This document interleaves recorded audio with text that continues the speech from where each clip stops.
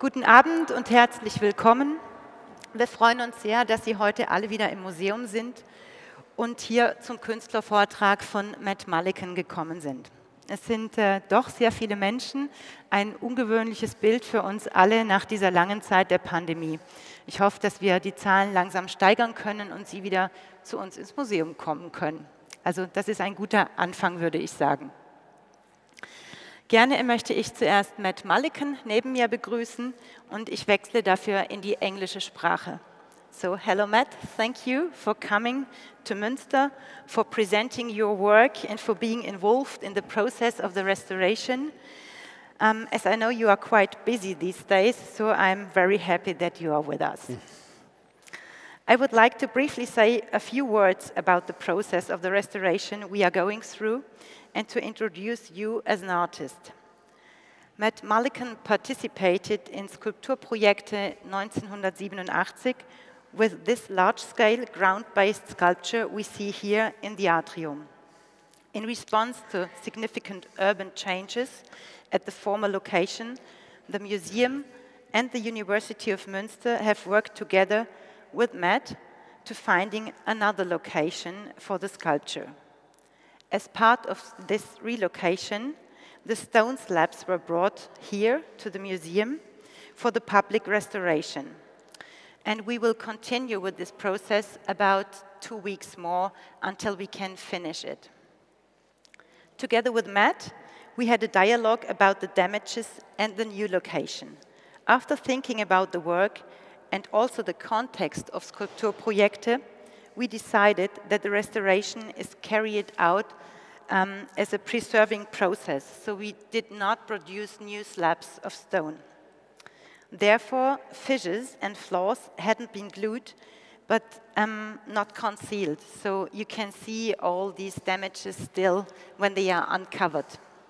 This process left imperfections visible and is documenting change as well as showing the biography of the work. In addition, Matt and his studio team are currently producing the so-called rubbings you can see now. So all stone slabs are covered now in the moment, only one is uncovered in the middle. This is reflecting the sculpture in another medium.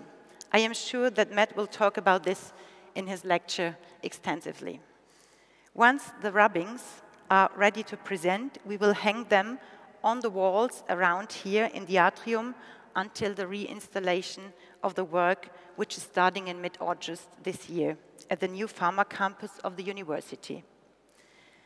As we all know, projects like this can't be realized without strong and reliable partners. This is the moment I send my warm regards and a warm welcome and thanks to our generous sponsor, Brillux, who made it possible that we could make that process of restoration. So um, without them, it would not have been possible, and I think it's a great pleasure to have them with us.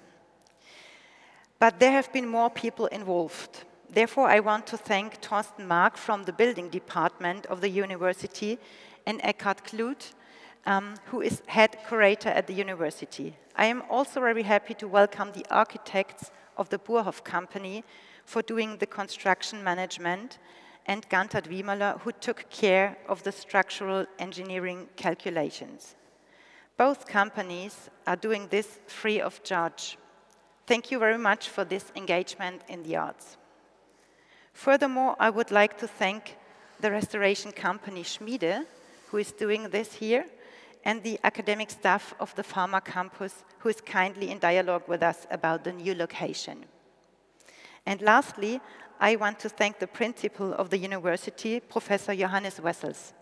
He and our museum director, Hermann Arnhold, who is just on the right side, right hand to me, signed the new agreement this Monday, which will ensure that Matt Mullican's work will remain for at least, attention, the next 30 years.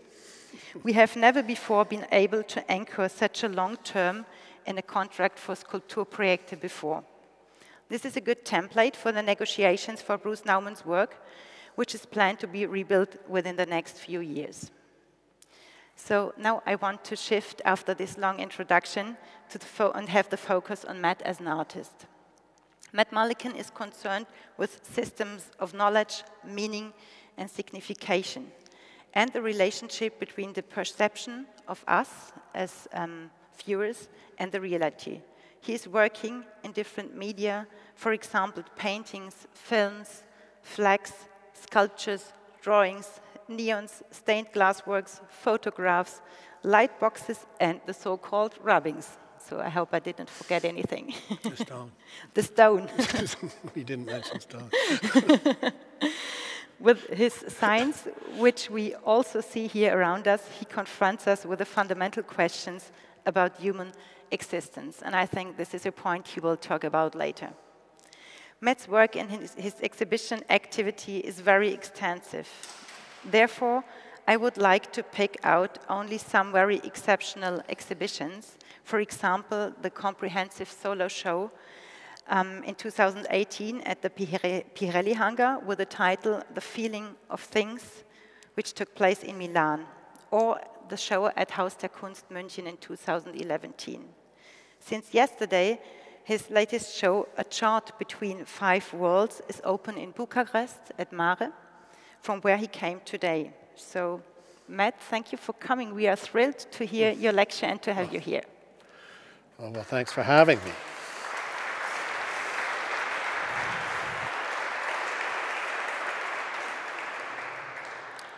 Uh, when I made this sculpture, it was the largest piece I had done to that at that time. I had not done, and I still haven't done very many that are larger than this.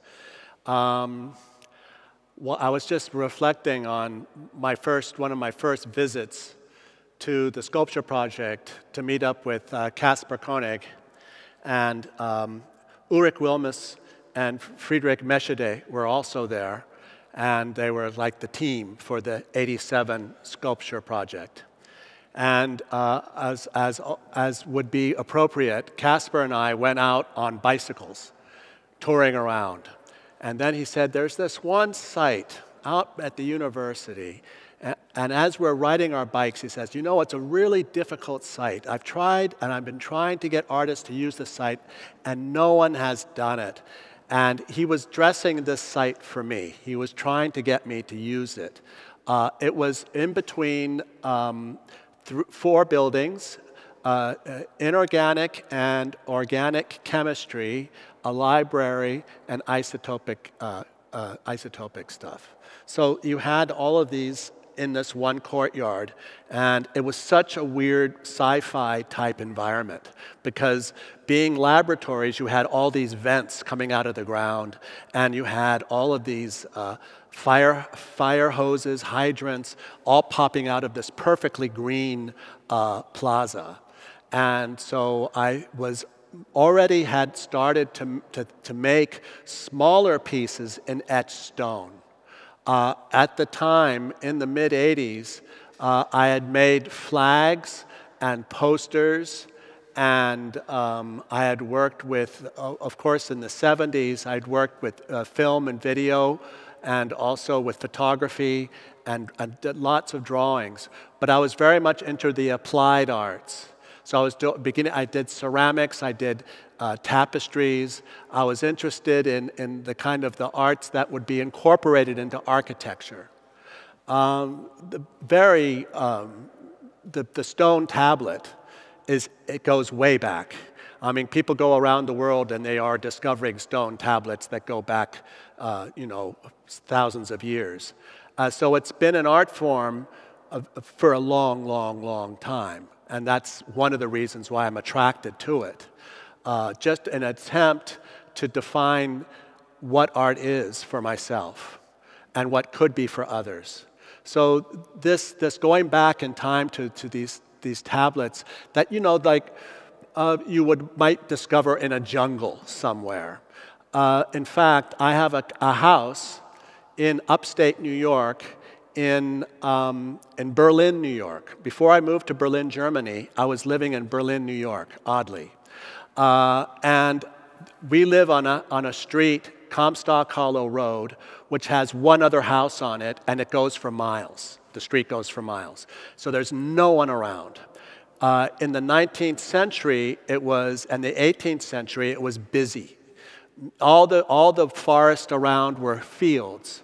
Across the road, up the hill, you go to a cemetery in the middle of the woods. And, um, and their gravestones are just splattered around with these, with these trees growing through them. And you have one of our favorites is uh, just the name P Moon. But you would have the birth date, the death date, the name of the person, and it would be in pieces or it would be surrounding, you know, just, just around and with trees everywhere. It, it was kind of, a, it's a remarkable place. And in, in, in, a sense, I am talking about that with this piece. Now, this piece has nothing, it is not in the same context as that cemetery. Uh, that cemetery will not be touched, it's on private land. Uh, there's no flags there. Most cemeteries have American flags in them, but not this one. This one's deserted. And, uh, and I'm kind of interested in what we leave behind uh, as, a, as a culture and as, as, as, as a species in a way. We're, now we're talking about the end of the world a lot. And uh, so you have this issue of stone lasting a long time. I had been making um, works in, in fabric and in paper, but when I put it in stone, people paid attention much more than if I didn't. I remember I, the first stone I made was about was small, but the, in a gallery setting was about this big. And when people saw it, it was of the cosmology. And when people saw it, they all they looked at it like they gave it reverence. You know, this is an etched stone tablet, and I'm going to give it some, you know, it's important just because of how heavy it is. And it would weigh 500 pounds, maybe 1,000 pounds. So, weight, uh, the physical weight, would, would, would somehow describe the conceptual weight of the piece. So that's one thing, and that's what I was interested in. How, if you put a sign on a flag, or if you put a sign in, on your clothing, or if you put a sign in a notebook, or if you put a sign on a painting, on gouache, a watercolor, they're all very, very different. They represent different things. The different forms are like adjectives to the signs. Now, that was, that's just about the materiality of this piece. Um, the rubbing part, which is the second piece you see here, um, the first rubbing, I, I, the, I, learned about rubbings for the first time in the, uh, I guess, 83 or 4, and to 82, 83, 84, something like that. I went up to the Boston Museum it, it, up, up in Boston, and they had a little display of a Chinese relief and then a rubbing from that relief and I had already was etching into stained glass. I was already doing that. So I saw the relief, and I said, I have reliefs at home. And so I got home, and I made a rubbing from it, and that was just like, oh my God, I, I can make, and because a rubbing is a print, a drawing, and a painting. These are on canvas and they're all going to be stretched, so they automatically become paintings. But I could make a hundred of these if, if, if I wanted, uh, because it is one big print. So it's all of those. And it's also something else about the rubbing is that it's, it, it's, a, it's a representation of what's underneath it. And it has to do, and, I think of it like a retinal image, like the shadow on the back of our eye. It's a kind of a similar thing. So that's a shadow of what's underneath. And so there's a, almost, it's not photographic, but but there is something to it like that. Like when you see this one and you see the cracks that are going through it, and it adds so much of a dimension that, that, that it, you get to see that this is becoming a document for what, what is underneath. Underneath, they all look like this. This is the uncovered, you know, the rubbing is someplace else. And it's just barely enough to, um, to register on, on, the, on, the, on the canvas, and the cracks are going through it. Uh, so this is, this is how the process is. People generally ask me, so how do you make the rubbings?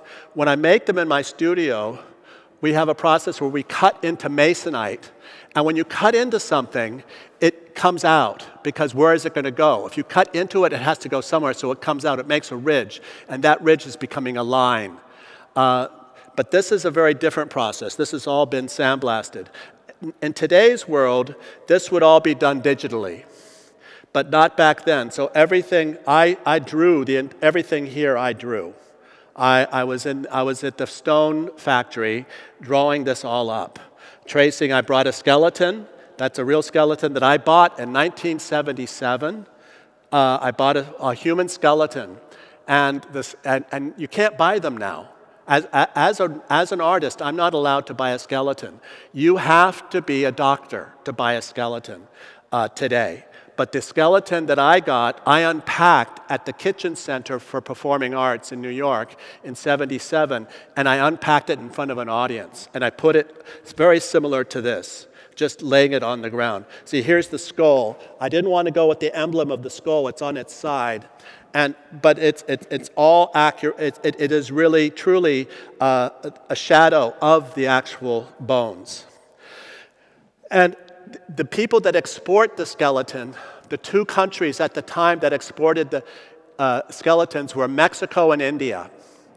Um, they, that, so if you wanted to buy one, I don't know, I forgot what I paid, but it must have been about $150 or $200. And I bought it just through the phone book. You know, there's a phone, we didn't have the internet back then. So I was just looking in the phone book and there was this, a medical supply place and I just bought the skeleton. But that, that is uh, representing the body.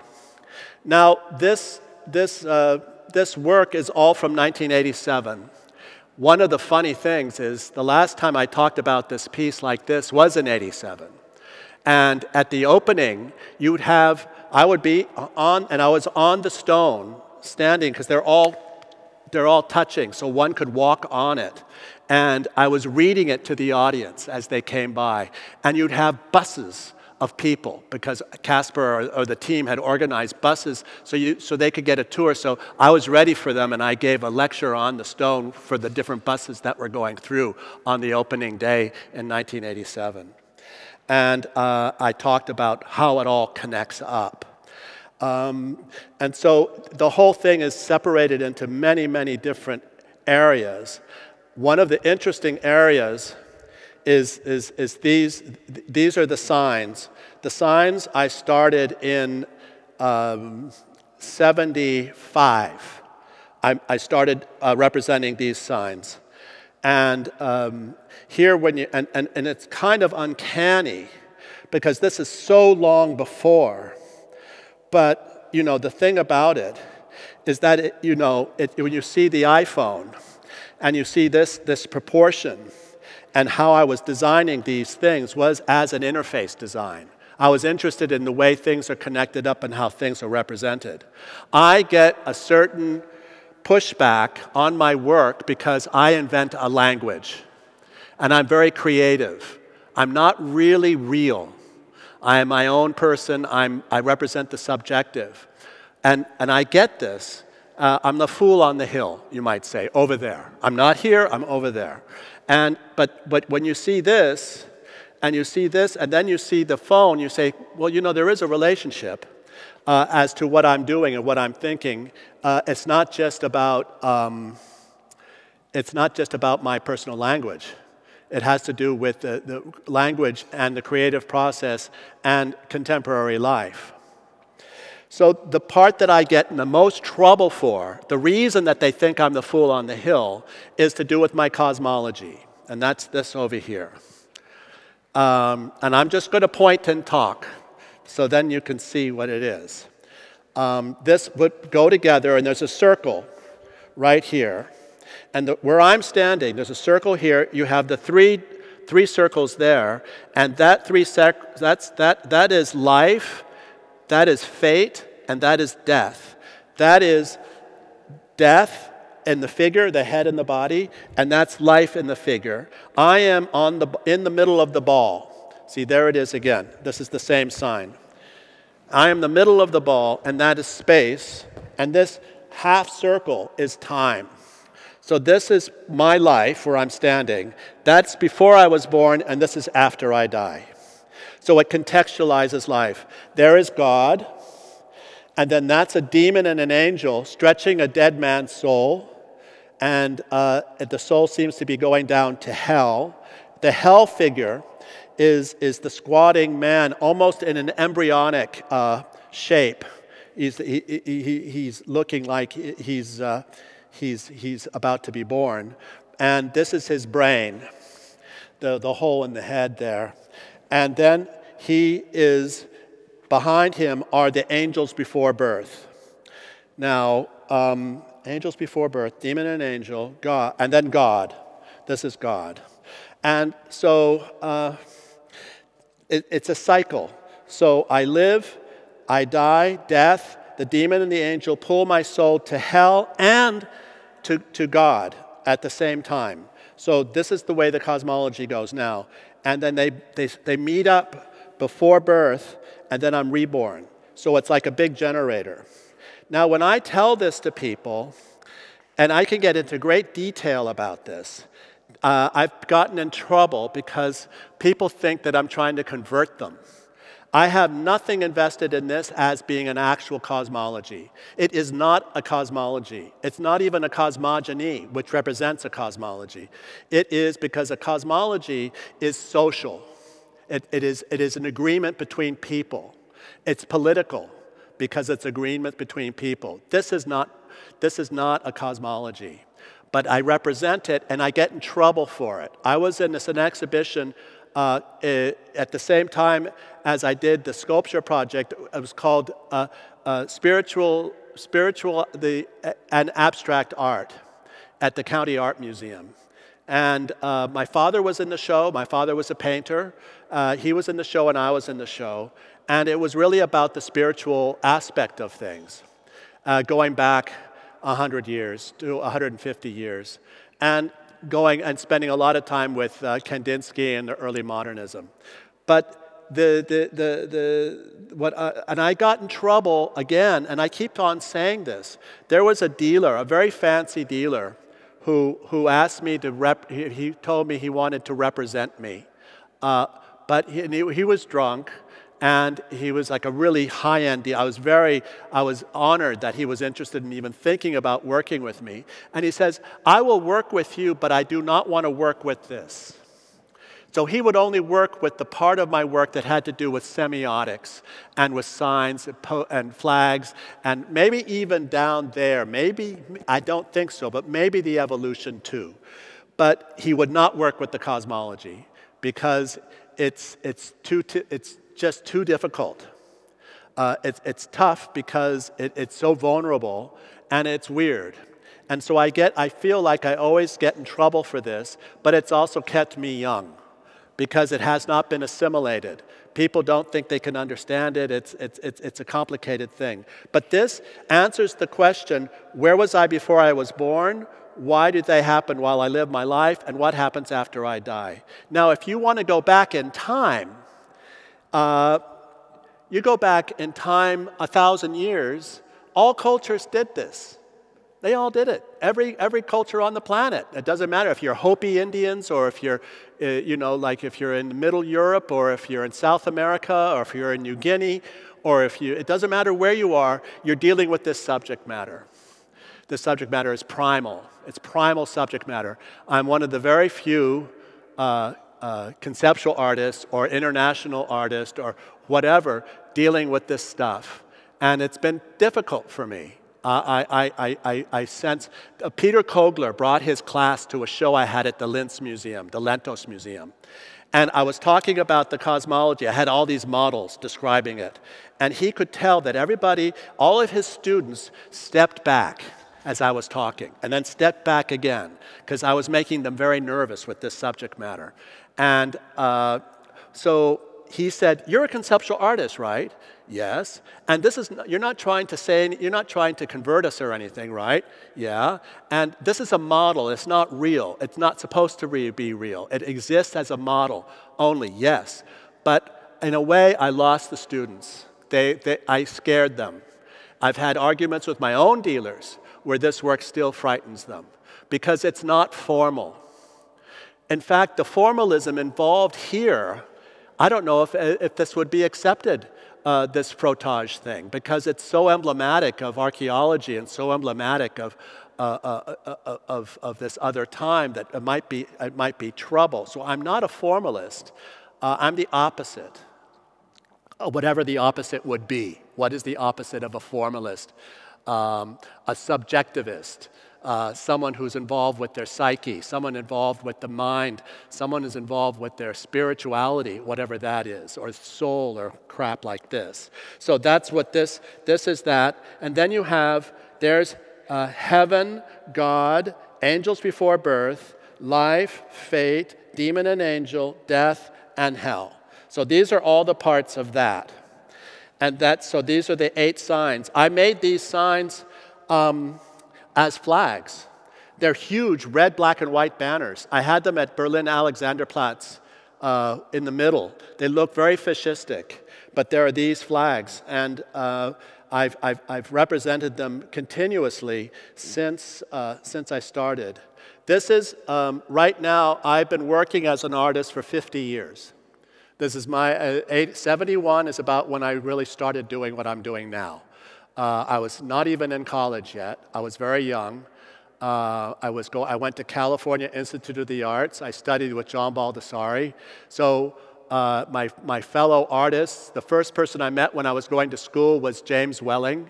We met in the hallway waiting for Jack Goldstein's class and um, David Salle and uh, Eric Fischl and a, a, a, bunch of people, and we all got to know each other. We all moved to New York, and that all started. But back then, is this is so it's 50, I, am 70 this year, so I was just 20 years old when I started really uh, playing around, uh, being, being, being an artist. So that this all, and this work is from 87, which is like, I don't know, 37, 36 years ago. And, um, and then the, the, signs go back uh, close to 45 years ago. So here you have the signs having to do with uh, this is communication, and uh, in the gen- these are all signs lifted from an airport uh, logos. In fact, this in both, both of these panels here have to do with, you know, there's the parking of the car, there's the taxi, there's the nursery, there's the bathroom, there's the parking, there's the no parking, there's the cigarettes, there's customs, which I saw this morning because I, I, saw that sign. And uh, one of the reasons I use signs is because when I was a, uh, a child, uh, one of my teachers, I might have been 10 years old, but she said, underneath all objects there is a word. That means in the object there is a word and I'm dyslexic and I have a hard time with language. And I just didn't believe her. I, I, I, and, and in a way, that disbelief is the person who came up with this sign stuff, what I was interested in. Because I can point to this, and you can know what I'm pointing to, and you never use the word. The word never enters your head. It's a different part of the brain where, where, where pictures are than words. And there's a, a famous woman who said that she thinks in pictures. She's autistic, Temple Grandin Smith. She's a, she's a, she's a famous uh, uh, uh, veterinarian, a famous uh, person working with animals. And she says that in her head, she works, she thinks in pictures. She thinks in pictures. So this is all pictures. So maybe there's something to do with that. And she knows, she, and the implication is that we think, the other people, the normal people, think in words. Now, I don't think I think in pictures, and I don't think I think, I know I don't think in words, and I don't think I think in pictures. So if I don't think in pictures and I don't think in words, what do I think in? How do I think? And, and, and it's anyone's game for this. Any, I think it's more related to feelings. I, I think that I think you uh, feelings are much quicker, and you can distinguish in yourself the, the, the, the feeling of, of, uh, uh, of objects. That's why the name of the show at the Hangar Bicocca was The Feeling of Things, because all things have feelings. All places have feelings. We are different. Our chemistry changes moment to moment depending on where we are. Uh, I'm a little bit nervous here. I close my eyes when I lecture because I think I have attention deficit disorder. So when if I'm looking at you and I'm trying to have all of these long threads of, uh, uh, of meaning, it's very difficult for me to string them together if my eyes are open. It's easier if my eyes are closed. So here we are with pictures. And, um, and these pictures are appropriated. And I did that in the late 70s, where I simply lifted pictures that were in the culture already, but they were not, they were simply descriptive. So, and here you have, uh, these are more abstract. There's bottom, top, time, fast, slow, temperature, heavy, light. Um, there's blood, there's, fi- there's liquid, fire, uh, volume, uh, light, so this is, these are like the elemental uh, versions, and this is more contextual. So then that's the top row here. So these two could go together, those two could go together, those four could go together, and they could be single pieces. They could, they could, they could go like that. So now we have um, the sign area is in the top. Now, the library in the, um, where the sculpture is was uh, on the side of this that was on this side of, of this piece. So this means that it was flipped. Uh, this is, uh, this is on, the, on the side that's outside. So this is, this is towards the language. And then you had organic chemistry on that side, inorganic chemistry on that side, and isotopic on that side. So, in a way, I'm orienting the stone to what was happening in the buildings. So now we go to the next row, which are these four very large signs. Um, if I am not a formalist and I am a subjectivist, maybe, is that what you, you could call a subjectivist?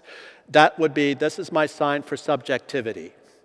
It's the t- I have five basic concepts in my work I have subject, I have sign, I have the world framed, which is not here, but that's the world unframed, and then the elements. Uh, where would world framed be? I guess it would be, have to be, it's not represented in this chart. It's in the middle, the, the square in the center of this is the world framed, is this square here. But um, so this is the subjective. So that's, again, close to the cosmology. That's very, very close to the cosmology. In a way, the cosmology represents a kind of a belief structure that uh, orients your, your, yourself. It's what you believe in that's not necessarily physically real. It's, you know, it could be your religion, it could also be your love of certain things, you know, what holds you together. That would be the cosmology, and that would be, and this is, this is the subjective.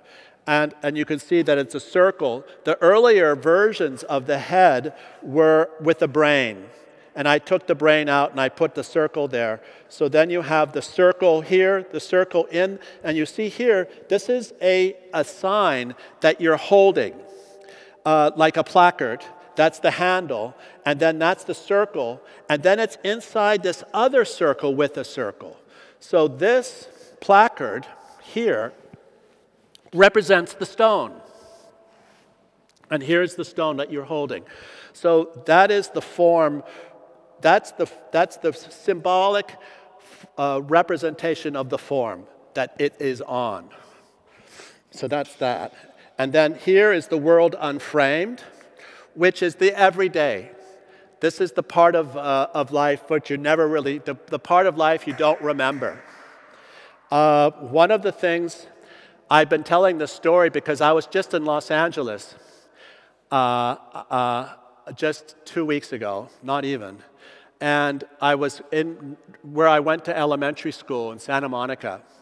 And uh, I was with my brother, and I told my brother the story of, of going to the cafeteria.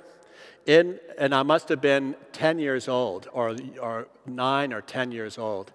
And I, uh, and I sat down, I was early getting my food. I, I, actually had a bag, so I didn't need to wait in line at the cafeteria. I had a bag of food. I had a sandwich and whatever. So I sat down at the table, and it was a sunny day, and I was looking up at the sun, and I was looking at there's a building right here, and the sun is behind it, and it's and I and, and there's not that many people around yet because I'm early. I, I got into the ca- I got there early, and and I put up my finger and I said, I will never forget this. And, and I had never forgotten it. And I said I would never forget this because it was a no nothing, it was, a, it was a, as, as normal a day as you could ever, ever think. It was a stupid, normal, regular day.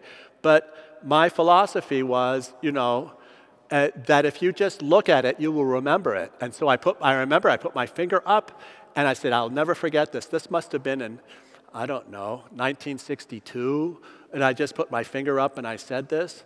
But this is like childhood philosophy that, that, that, that, that you see in my work here. Uh, and that, that, but that, that place where I was when I said I will never forget that, that is, that's the real world that's pretty close to it. So that's the normal life. I have a birth to death list where I list details from an imaginary life, and that's all the stuff like uh, from here. I take photographs. I've been taking photographs. There's a book of my photography going back a long way, and uh, most of the photographs are of stupid stuff that is around me, about my, around my life. So it's really, photo, I'm taking photographs from the bed, from the couch, from the dining room table, from the restaurant, from where I'm sitting, uh, taking photographs from where I'm sitting, uh, and then also where I'm not sitting, like in the bathroom or, or in the kitchen, as, being, as preparing food and so forth. So that's here. And now this is the elements. So this is not about the, uh, the, the world, it's about what makes the world. So this would be, the elements would be the marble, would be the oil, would be my blood, would be my nails, would be the gravel on the floor, would be the plaster on the wall, would be the cloth that's on my jacket, the, the, the, the cloth that my jeans are made of. It's the materiality. So this is materiality with, and, and it's an, extre- an extreme version, materiality without meaning. So it ceases to exist in any way. So that is, that is so pure materiality has no meaning.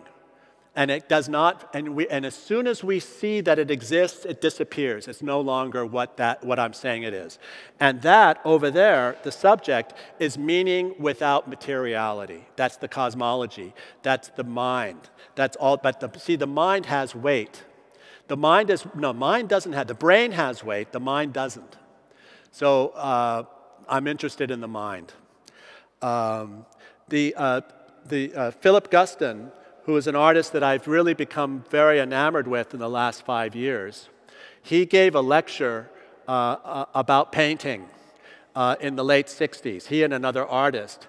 And, they at, and the audience asked them both, What is a painting? And the, and, and, and, and the other person said, Okay, it's, you get a canvas, it's, it's, two, two, it's like five square feet and then you get a quart of red paint or blue paint, and you get a roller, and you roll it on, and that is a painting. Just paint on canvas. There's no meaning there. It's just materiality. That's the formal way of looking at things. And then Guston said to him, That means nothing. Painting doesn't exist uh, when you see a painting, it's not there. It doesn't exist physically. It does. It, it, the important thing is not how the painting exists physically, but how it exists mentally. That's what's important. What's important about this work is not that it's all granite or that it's all cloth. It's what you see, which is a, which is a distilling device and a microscope. So we, I can see that, or the bones. The bones are not there. They don't exist there. There's no, there's no animals over here. They, they're not there. They, they, they, they're in our minds. They only exist, all of this stuff only exists in our minds. So he said, painting is, a, is, is a, exists in the mind only. The rest of it is secondary in the mind. And then he, he says that Leonardo da Vinci said that paintings, painting is of the mind. It's because it is not physically there. The Mona Lisa is an image, and it is only an image, and it only exists as an image. And the image that we see through our eyes and in our brains is, is closer to what it is than the canvas itself. So that's, a, that's an, a completely reverse. It's not a formal way of looking at things. Because what we have now is that art has become very objective oriented. objectively oriented. It's very formal. You ask an artist, what is your work? And they say, I'm a painter or I'm a sculptor. Well, okay, so then what are you painting and what are you sculpting? And then you get into the subject, and that's what I'm interested in. I'm not as interested in the form as I am in the sign or the picture of what that form is.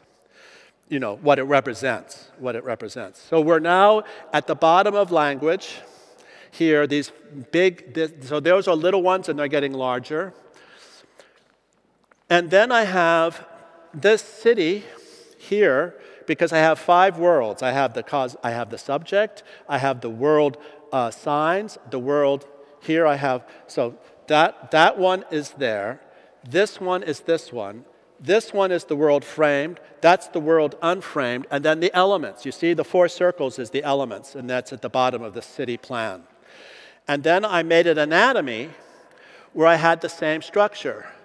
So here is the eyes, the ears, the nose, the mouth. And then there's this thing that goes into the chest, which I think is the feelings. And then this goes up to the cosmology, which is all that stuff that's in your brain that, that really defines how you, and what you see when you look around. These are your senses, but this is what contextualizes you. Robert Barry, the famous conceptual artist, one of my favorite conceptual artworks is a piece of his where he says, he, it's a statement, and he says, Everything I, I, and it's not quite these words, okay, but you get the idea. He says, Everything I know, but I'm at this moment not thinking, and then he has a time and a date attached to it. So what he is, what he is doing is he is objectifying thought that is not current. He's objectifying the possibility of thought, and that is a sculpture. He is defining that as a sculpture. And this is in the 60s. And this is what I come after. And that, that's, that's just a genius idea. So that is, in a way, what I'm not thinking. Um, that is simply always there. So that would be above. In a cartoon, you have the thought bubble that exists in a cartoon. So what the person is thinking, there's a thought bubble above them. Well, that's the thought bubble there that's connected to his head. And here is the sign, and that's the sign like here. He's holding, this is how he communicates. And then this is his stomach, and there's his arm and his other arm, and then these are his two legs, and then his stomach goes down into the ground. So this is almost like a penis, or it could be uh, a, a, it could be a, a con- just a connection. It could be your shit. It could be your shit going down into the ground, it is your body as it is becoming part of the earth as you live your life. So that's what's happening here. And at the bottom, you have the elements. So the bottom of the chart is the elements, and at the top of the chart, you have the cosmology. And here you have them together in the anatomy, and here you have them in the city. So these are, and I was also, I made this object out of blown glass. I make blown glass anatomies, and, I've, and I made this in a supercomputer. I made a city plan in a supercomputer. Just uh, uh, about the same time, I started to do that, about the same time that I was working on the stone piece, um, I got a phone call from a company, Digital Productions in Los Angeles, and they wanted to know if, if I would be interested in walking inside one of my own pictures. And I said, absolutely, because I, would do, I had done that as a performance where I was taking my mind's eye and walking into the picture. And so I started to work on this, this body of work dealing with the digital world. Uh, this is very early, uh, done with a, a, a Cray supercomputer, very fancy. But this is the plan of the city that I was working with. And here, this is the city again. You have the, the subject, language, world framed, world unframed, and elements. And it's made into a pattern. This pattern doesn't quite work. The only one that works is here, but I kind of lose it. This is one of the first representations of the pattern. And I've made wallpaper out of this. I've printed fabric with this pattern, and I'm now making tile from this pattern that one could put in their bathrooms or whatever. So that's what this is. This is the first representation of it. And it's kind of cool with the, uh, with the cracks coming through here. And the cracks coming through here, it's interesting. Oh, and by the way, the cracks themselves, this stone piece was used by the students as a dance floor when they had parties. It was big enough to dance on. And they really did have parties, and, and it was really well loved because they enjoyed dancing on top of these, these insects or on top of the crystals or on top of the generator. Uh, you know, the skeleton, they, there's something nice to be walking on top of these signs. Um, but then what happened was a truck was doing some, probably some gardening, and they didn't realize that there's no foundation. We never put a foundation underneath these stones. It's just sand. So when the truck went over it in the corners, they, it, look what happened. It all got crushed up. And, and so it's really, you can see where it happened, where the truck drove down over here, and that was, that was just too bad. And, uh, but except in the last, uh, uh, the last time this piece, because this, is, this piece has been in every uh, sculpture project since 87, the last time they really I wanted to make it look like an archaeological site. Uh, you know, so I had, I had the wooden taking around, and, and you could really see that it had really seen better days. And that was, seemed to be interesting for me because it wasn't that long ago, but it was something that I, I, I'm still, you know, it's model, kind of model thinking. So here we have, so this is materiality, and then we've got the city, and then in the middle, the center, this is the middle of the whole project, and it's empty. There's nothing in this stone. So it's the blank stone. So it, it creates a kind of a circular thing. And then we have the microscope and the distilling device. So the, the blowing up of the, of the elements and also the distillation of the elements. And then you have these, uh, to go along with the signs on top, this is an evolutionary chart. It's 19th, 18th, 18th 19th century. And I, I have books, many encyclopedias from, that I have, which are facsimiles. I have some originals from the 1820s, but I was very much interested in how um, they put all the animals in a kind of a progression. So this is the more advanced and this is the more primitive. And you can kind of follow the story. And here we have uh, a monkey, I don't, and there's a person. Oh, no, maybe not. That's not a person. There's no, just, there's no, no human being in, in, in this particular, uh, these two charts here. But it is about materiality. So now we're into this other world having to do with the bones, the distilling device. These are fossils. And this is just wonderful. I mean, as a rubbing, because, you know, the fern that's in the rock and the rubbing, it just looks so three. For me, this was a nice surprise to see this stone. It's very beautiful to me.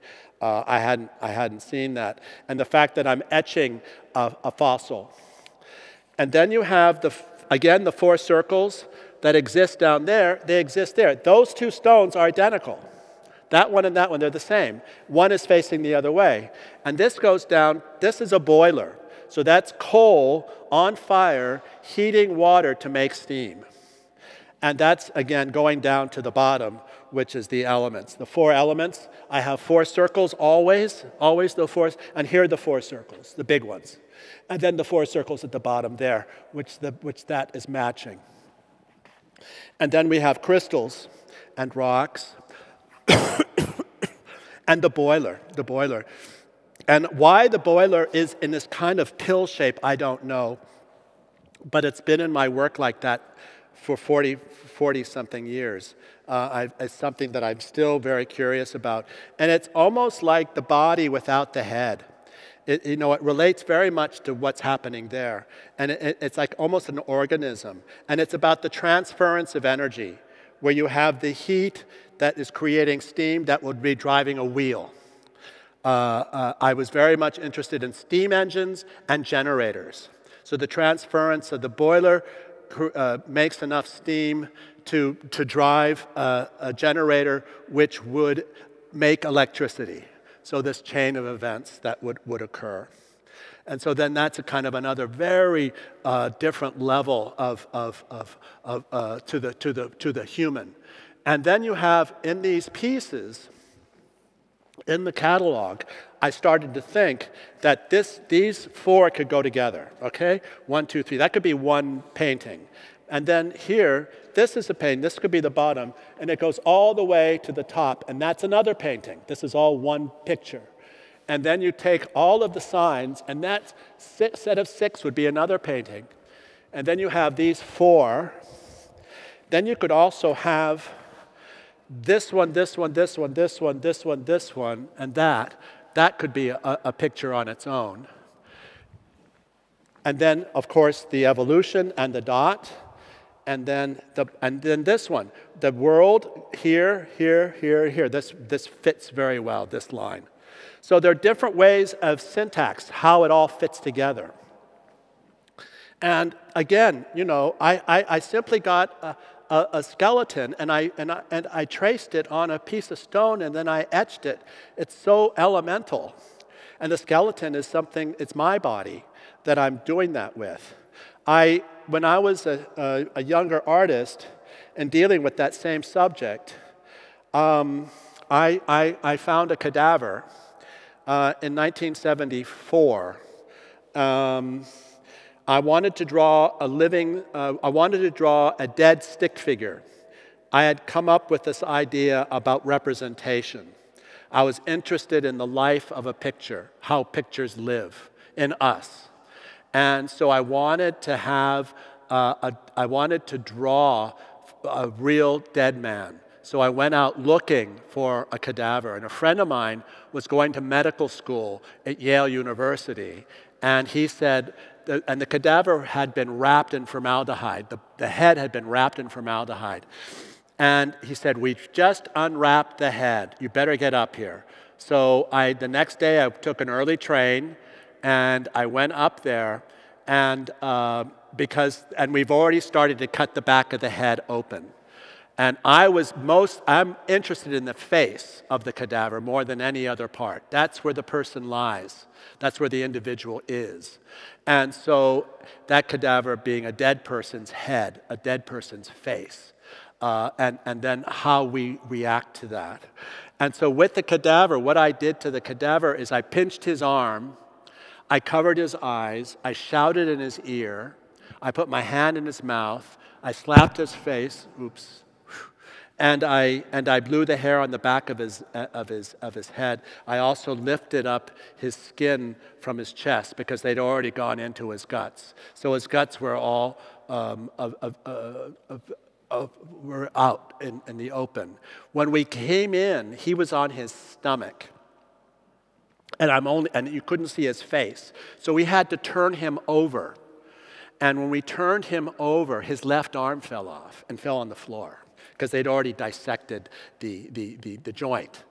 And um, at that point, I picked up the arm and put it back on the body. And then I pinched the arm to see if I, how it felt to not to hurt him. So this is a, again a very primal a primal thing, and it's not so unlike the, the, the skeleton in the stone. But it was just trying to figure out the pain that he felt or he didn't feel. The fact that he was dead and trying to deal with that notion of death. When we were talking about him, we talked about how he was sad, he looked poor, he looked like he was a drunk. And then it smelled. It was crusty.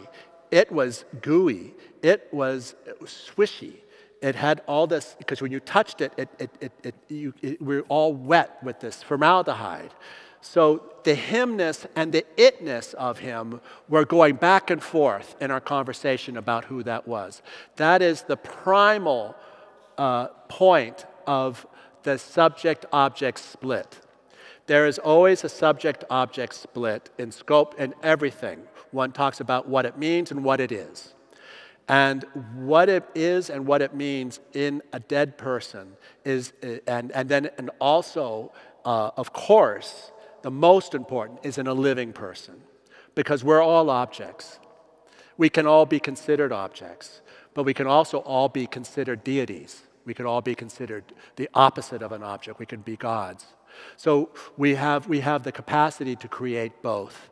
And um, what we were doing, but, but, the, but the point of the dead man was that the dead man was a he and an it. And it was back and forth, back and forth, back and forth. That's the two sides of this stone. That's the himness and that's the itness. And, and it's always about the subject and the object. Like in the cosmology, um, you have, I think, that up in this area is the subject. Down in this area is the elements. In this area would be the world, and in this area would be the sign. So this, but so that that would be a, that's a very complex relationship between different chapters, and the chapters can can can coexist. They they they really they really can, and that's the point of them. And but one of the, and just looking at uh, uh at these, for me, it's just it, it, it's it, it's a very funny feeling to be in here and talk about this work because the work is so old, and yet I'm still in it. I, I still, it's still, uh, I'm still learning from it. There are things here which I haven't seen, and I say, oh my God, that was, you know, so things are growing. Things are growing. And, and of course, it's very different when you're walking on the actual stone when you're walking on the stone and talking about what you're standing on. That was another point. Carl Andre, you know, uh, made these sculptures that he always wanted you to walk on. And I wanted to make pictures that you walk on. And that's one reason I did it this way. And I've put them in various, I did them for different institutions. After Münster, I did one in Houston I, and, and different, and, and that was in a school context in North Carolina. And it was always interesting to walk on top of the pictures. And I never had to worry about graffiti because no one ever wants to, because it's not confronting me. It, it, it's, I'm on top of it. Uh, if it's like when a dog gets on her, their back they, uh, uh, and, you know, don't hurt me, I, I just want to play. And this is like that a little bit. It's not, I'm not Richard Serra and I'm not presenting you like this, I'm on my back. This is, that, that this is on the floor. So, no, I never really worried about graffiti. I worry about Coca Cola. Coca Cola is in all of when I and I've done so many of these. That's the worst stuff, but it can it can be washed out in the rain. It can it does take time, and then also rollerblades. Rollerblades I have this giant stone floor. The biggest one I've done is out at Flushing Meadows. You know that giant, there's a huge globe out at Flushing Meadows. And I did a giant stone piece about the two World's Fairs. Uh, the 39 fair and the 64 fair. And all the rollerbladers use that to go because it's the, this is the smoothest stuff it is absolutely glorious to, to, ro- to roller skate on this material. And I'm worried about skateboarders. You know, always have to worry about skateboarders. But the image underfoot, that's, that, that's not on the wall. It becomes on the wall when we have a rubbing of it. And I would love to see this piece, you know, in a space because this is quite large. It would be fantastic. I got to turn that off. Sorry. Yeah. So it's, it's, you know, it's, it's a fantastic, um, it would be fantastic to see it that way.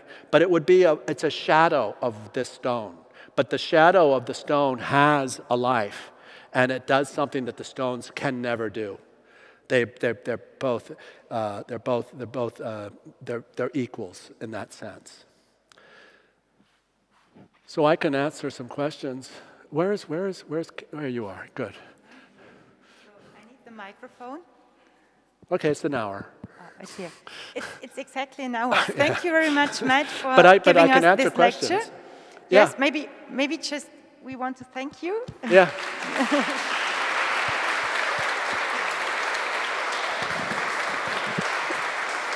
I want, I want to say that it's a train of thought when you see me up here, and I am held in certain lines with the stuff, but I'm very apt to, you know, oh, I, am here and then suddenly I'm in elementary school saying nothing should, you know, like I'm, you know, I will remember this forever, and then I'm in a, in a, in a bicycle with Kasper Koenig, and then I'm, you know, somewhere else. So the work, you know, it's, it's, so, I, you know, I feel a little bit funny because I, I think it's very meandering, but the, that, that's, how, that's how signs work. In a, in a funny sense. And also how dream, you know, trying to understand how dreams function and how we think and all that stuff has been in the work uh, for as long as I've been be, being, you know, for the last 35, 40 years. I, I think it's very different from the side outside the museum, from the original side, having it here as a grid. Yes. And also having it covered so we all cannot see the stone really. Right. Uh, I think that was a really strange impression when you all came in because you couldn't see the work really. Yeah, this is the So- only one that is uncovered. Only one. We, So you can see how the Yeah. rubbing is done. We've been in, I was here today and I had my assistants were here yesterday and, and, and it's, it's been really uh, interesting pro- process.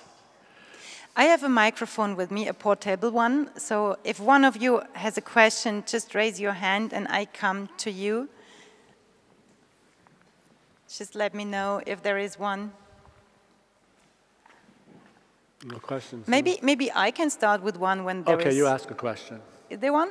No. No, no questions. Because I think it's interesting maybe to hear your impression about this change of media we have now in these, let's say, two works in the stone mm-hmm. work and in the canvas work. So mm-hmm. maybe you can tell a bit about this because it's, Well, it's a kind of new work. you know, the stone work is simply the stone. Now, this stone is particular because it's all cracked. That changes the stone tremendously. It gives it a mm-hmm. history and it gives it a context, whereas the canvas is an image of the stone. It's, a, it's an, like I said, a photograph, almost like a photographic image, where you can actually see the, the, the, the dimensionality of the cracked stone here, and then how, how, it's, how it builds up. So it's, it's, it's like the retinal image. I'm, I'm very much interested in what my eye sees in relationship to what my mind thinks. And so this is retinal image. This is like that a little bit.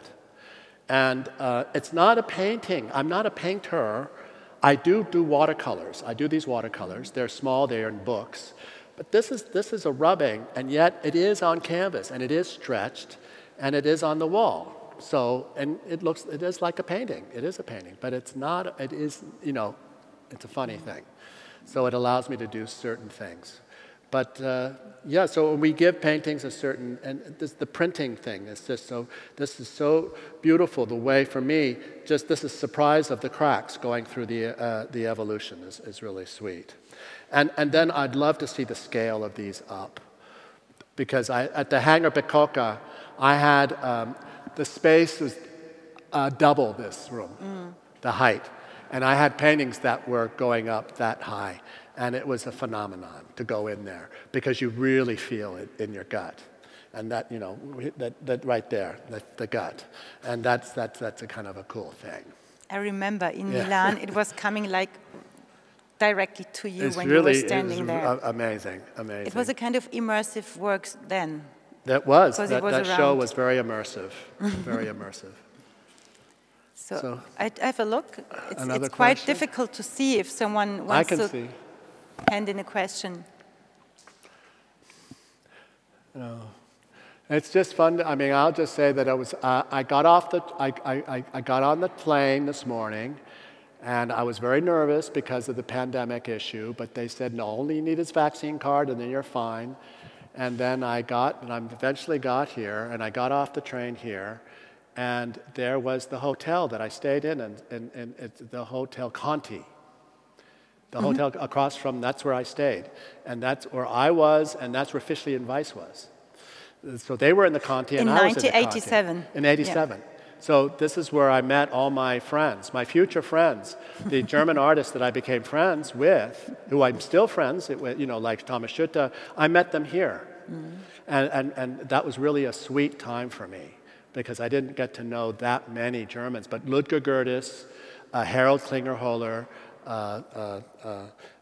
Thomas Schütte, um, Fischli Weiss, and um, gosh, who else was there? Because Katharina Fritsch was also taking she was part. there, but I, she didn't, she, no, she didn't, she, no, she was not interested. You were so many. You were so at- many she guys. So tough. She's so tough. She Yeah, looked at me like I, I thought she was, I thought she was like a critic, and she was looking at me like she disapproved. She had, I was intimidated by her, for sure. But she when- made a brilliant artwork. Her piece was extraordinary. But When uh, I look back, I see there were so many guys, so that was a reason to mention her now because she's a woman. it were, there were not so many women no, in there weren't. 1987. No, so- there weren't. Yeah. There weren't. But in my group of artists, it's dominated by women. The, the Pictures Generation, which is this group that I'm a part of, and that, that and, and, and the pictures is obviously I use the word pictures a lot in my work, uh, and I think that's one reason that I'm in that group. And, and, and, and uh, but the women, I mean, the, the, the star of that group is Cindy. Cindy Sherman is the most famous person in the group. And then there's Richard Prince, but then it's all these women more, I mean, really a lot of women. The next group, which is the institutional critique, and there's only a couple. But in that group, it was like, you know, from Louise Lawler to, you know, Jenny Holzer to, uh, gosh, uh, Louise Law, uh, uh, uh, Sherrie Levine, uh, Barbara Kruger, Laurie Simmons, that whole bunch. I mean, there were just a lot of them. Ericka Beckman. And, um, but that, so I was around women all the time because we all hung out.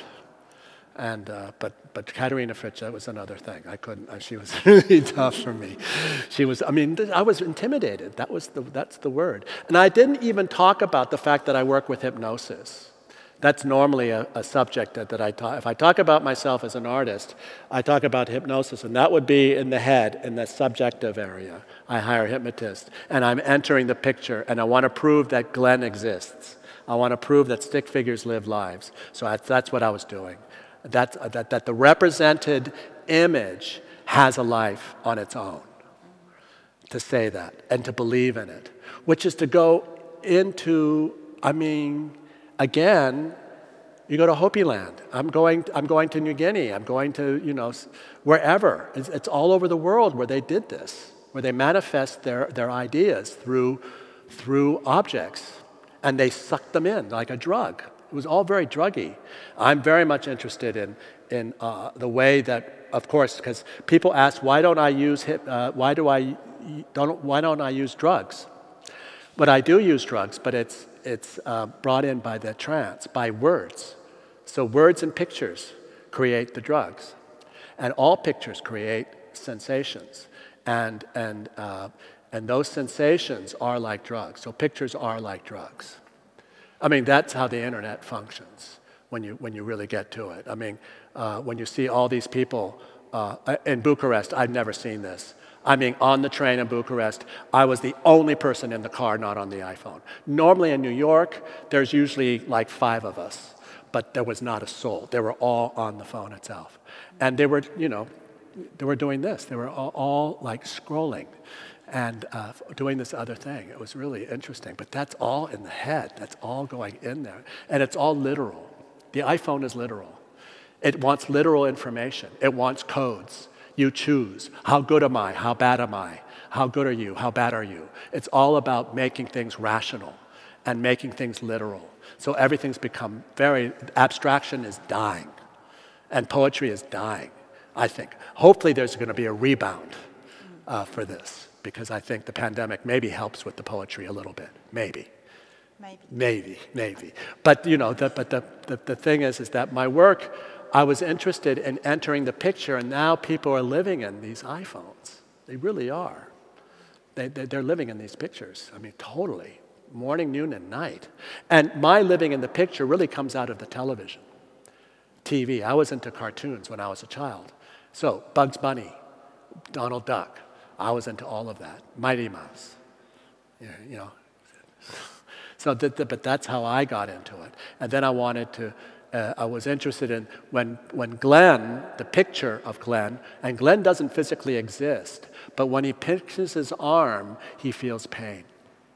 I'm saying the Glenn pain, the pain that Glenn feels when he pinches his arm, which is in the picture. The represented, the representation of pain that you, as a viewer, feel with him. That's how movies work. That's how, you know, and this is elemental. I mean, stone is elemental in that way, you know. That's, that's a part of, of, of how this functions. And, and, and just to let you know, um, you know, I'm an American artist. I was in this show, the Sculpture Project. I was surrounded by a lot of other artists, and then a lot of people came. It was my first, not my first, but it was early uh, international show. And I was so intimidated and so scared about how, what people thought.